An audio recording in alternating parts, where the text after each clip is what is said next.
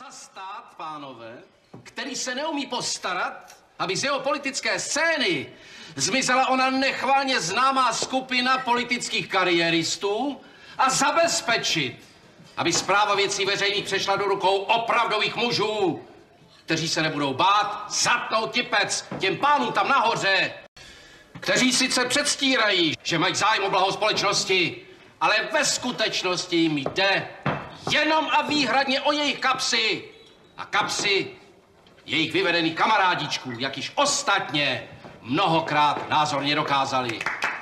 Přívrženci skvělé ideje skutečně prosperujícího státního útvaru pozvedáme paže, abychom se nebojácně připojili ke své svaté povinnosti vyvést tuto společnost a tento národ z bludného kruhu, kam ji zatáhla partička lžiministrů a pseudopolitiků, a která by už v každé normální společnosti stála dávno před soudem.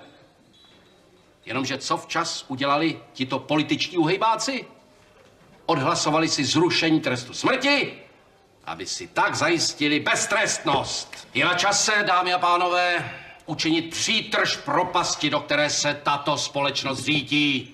Lidé ztratili úctu a respekt ke své vládě a ke svému parlamentu díky jejich nekompetentnosti.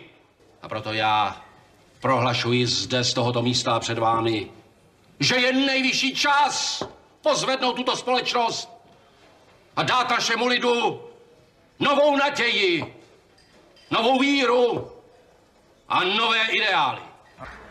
Poslední generace našich státních představitelů se zahleděla do trezorů bank a součtu číslic na výplatních listinách dividend a přestali vidět člověka, spoluobčana, skutečného tvůrce hodnot, na kterých se tak záhy naučili zcela bezostyšně parazitovat.